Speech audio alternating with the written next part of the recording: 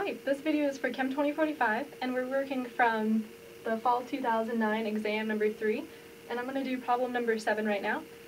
This problem asks you to identify which of the compounds listed are not sp3d hybridized at the central atom.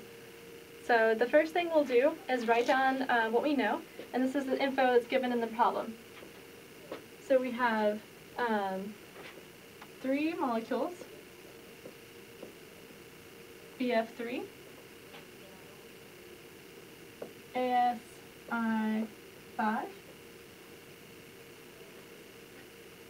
SF5,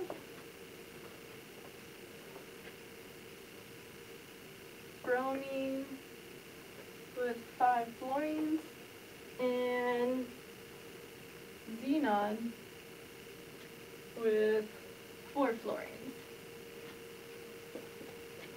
So our problem asks us to identify which ones are not sp3d hybridized. So,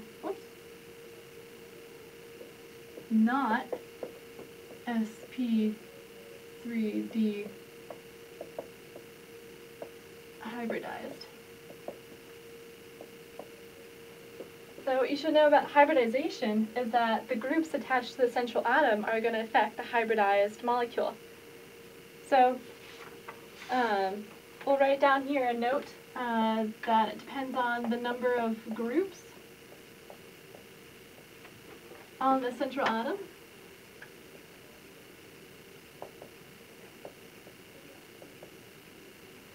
And the number of groups on the central atom also uh, is affected by the structural orientation. So we should also know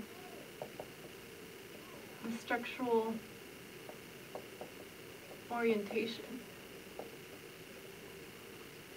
And right now, that's how we're going to identify the number of groups on each central atom. So we'll start here with um, boron trifluoride. So we know boron is our central atom. And we have three fluorine attached. And to draw our Lewis dot structure, we need to know how many valence electrons we have. So we know fluorine gives us seven valence electrons times three, and then boron will give us 3. So we have 24 valence electrons altogether. So we can put 8 on each fluorine to begin with. Then 8 times 3 is going to be 24 electrons. Notice that boron doesn't have a complete octet, but uh, boron happens to be one of the exceptions to the octet rule. Now we have our Lewis dot structure, we can identify um, this molecule as a trigonal planar structure. So because it's trigonal planar, we've got um, one, two, three groups. Three groups means it's going to hybridize um, so that it takes one s orbital from boron and two two p orbitals to make a hybridized sp2 orbitals. So this is sp2 hybridized, which is not sp3d hybridized. So we know fluorine is one of those that are not. Now we're going to move on to our next molecule, which is um, arsenic with uh, 5 iodine attached to it. So we'll start with arsenic here in the middle iodine attached in five places.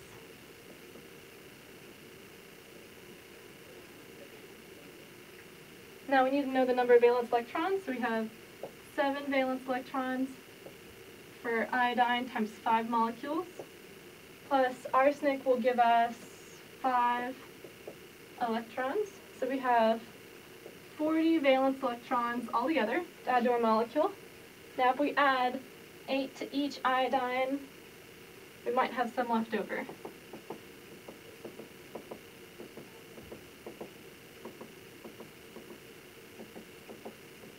So we have 8 times 5, 40. Alright, we took care of all of our valence electrons. Notice that arsenic also is an exception to the octet rule.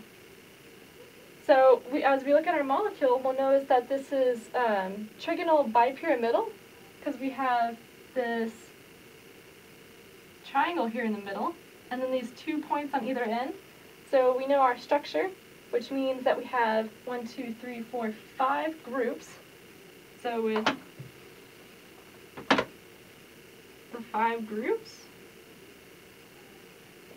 that means our molecule is sp3d, so we've used 1 plus 3 plus 1, so it's sp3d hybridized.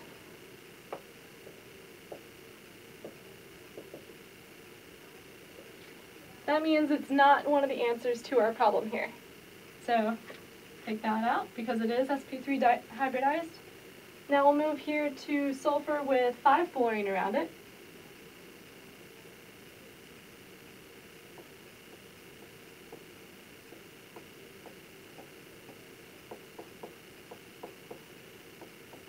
Drawing our Lewis dot structure, we need to know how many electrons we can use.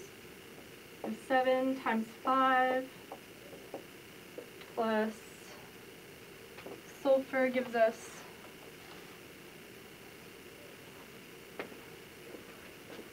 sulfur gives us 6.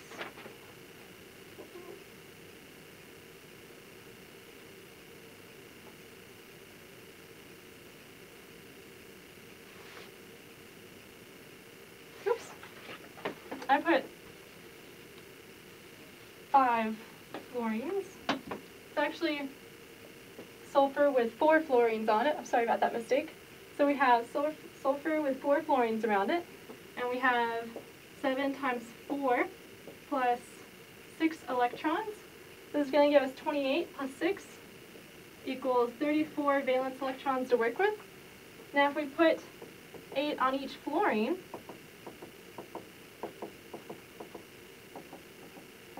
we've used 24 electron, oh, 32 electrons, so we have two more electrons left over. The only place we can put those is on sulfur here, because it can be an exception to the octet rule. So now that we have this extra electron, or extra pair of electrons here, we have another group. So that little invisible group makes us have five groups attached to sulfur. So because we have five groups, we have the same structural um, orientation as this molecule over here, which is sp3d hybridized. So this one is also not an answer to our question. So we'll move on to bromine with 5-fluorine on it over here.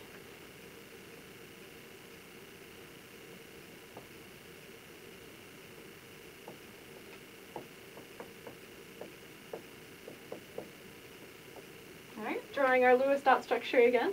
Um, we have 7 times 5 plus bromine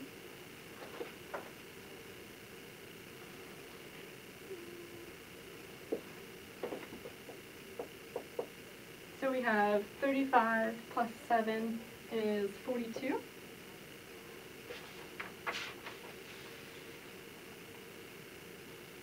So we can put electrons in each fluorine.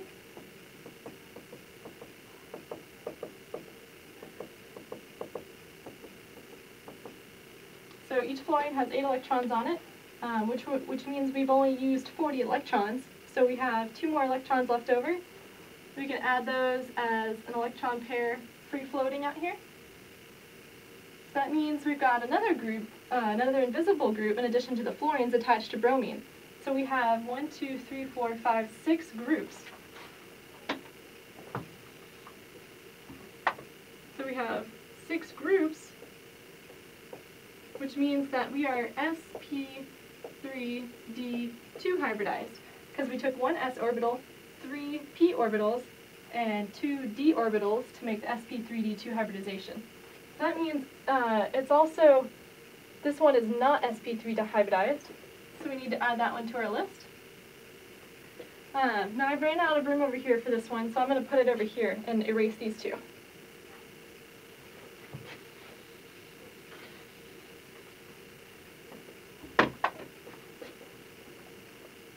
So xenon, with four fluorine on it, we've got xenon in the middle, drawing our Lewis dot structure again.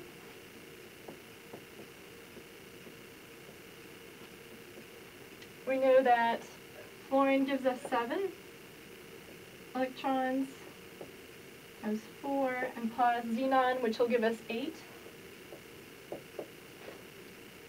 So we have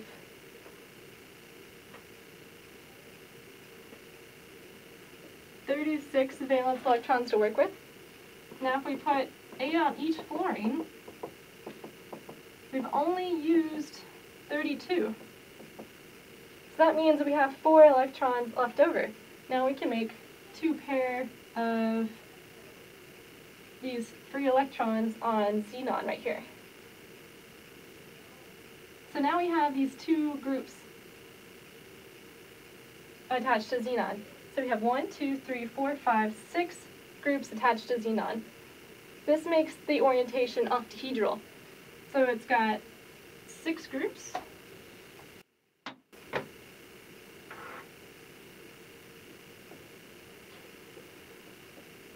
Which is octahedral, just as this one over here is. And so it's also sp3d2 hybridized. That means it's also, oops, we're looking for ones that are not sp3d hybridized, so this one is part of our answer. So the answer that includes all three of these molecules is going to be answer choice 3. Oops.